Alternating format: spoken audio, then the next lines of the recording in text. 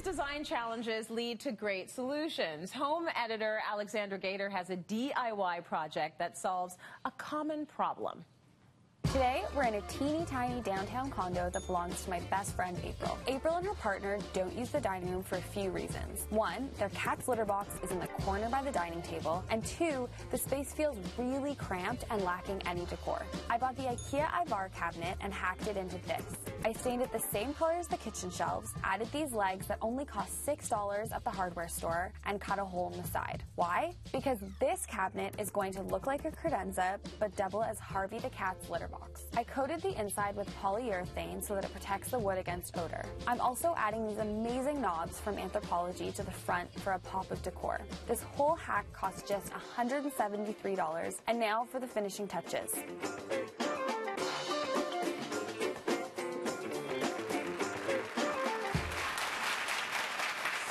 cool! Okay, Alexandra joins us uh, in studio now. I love these projects.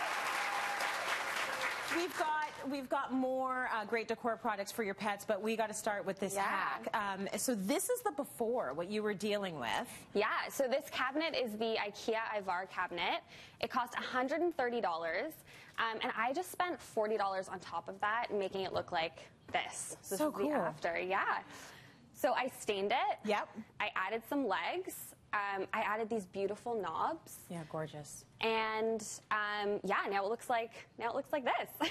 and then there's a little side entrance, um, so the kitties can come in and out um, and hang out in there. But it's so stylish. Like what's cool about it is that um, decor for pets has been so elevated because people are trying to keep a nice home, but we also want the pets. So how do we do that and make it all work together? Exactly, especially in a small space. Like this was yes. made for a condo. So before as you saw in the video, this couple had the litter box in the corner of the dining room. So this uh-huh. kind of solves that. And now they have a nice place to put their little mini bar, yes. coffee table books.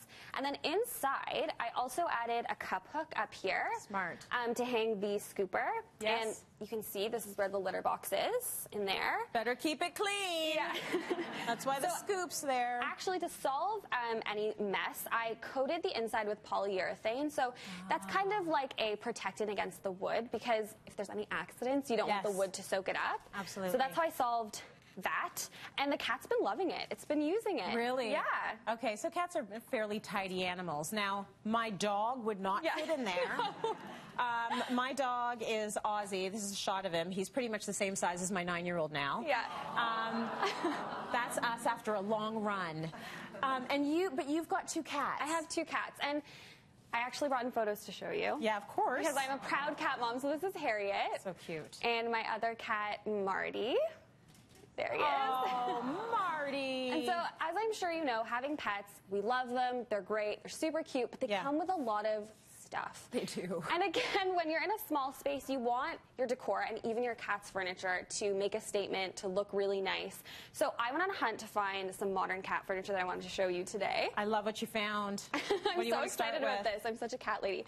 So this amazing bed is from Etsy, from Agnes Felt on Etsy. I actually have one of these. It's made out of 100% wool. Uh-huh. Um, and just like a great statement piece. I mean, if you're a crazy cat lady like me, yeah. you know, in your living room. You're a chic cat lady. Thank you. Exactly. Um, and then this amazing piece of furniture, there's a lot of double duty furniture for pets. So okay. this is a side table. You can put it beside your bed, beside your couch in the living room. Yeah. Um, but it also acts as a cat bed. Oh. and Marty has been loving this. He's been using this for the past two days while it's been in my house. So as long as you have any of this, like this amazing fur, you've got the gorgeous wool there, you've got the faux fur here, they're going to love yeah, that. lots of texture. Texture. Exactly. It's cozy for them. Exactly. Is that a little cat bed? Because yes. that is so luxe. Like I would sleep in that. No kidding. if I could fit, like you've got the you've got the beautiful warm metals, you've yeah. got the lucite. So it's very on. Trend. I know. Yes. And then, of course, a beautiful bowl. Um, so even your, you know, even your cat's bowls should, or your dog's bowls, yes. should make a statement. Absolutely. And I love the red, the pop of red. Me too. That is great. And then cat scratchers. So yeah, I you know, there's not a lot of cat scratchers on the market that look nice. Yes. This one is from Amazon. It's a sculptural element in your living room. That's so I thought beautiful. like in an industrial style condo would be great. Yes. Um, and your cats love it. So it looks good Cats love it. I would get this without a cat. Yeah. Just have it Because it hanging looks out in your living room. Yeah, it looks sculptural. It's great. And then this makes a lot of sense. So when we first got Harriet, um, we had to keep her separate from the rest of the house when she was a tiny little kitten, Right. and we were using a baby gate. And I feel like a lot of people do that, especially with puppies. Mm-hmm. So this I thought was a beautiful alternative to that. Yeah. Um, it just it looks great. Absolutely. Ditch the baby gate, yes. Yeah. Yes, I wish they made baby gates that looked like that. right? I know. It's not a pretty time for your decor when you got a baby, let me tell you.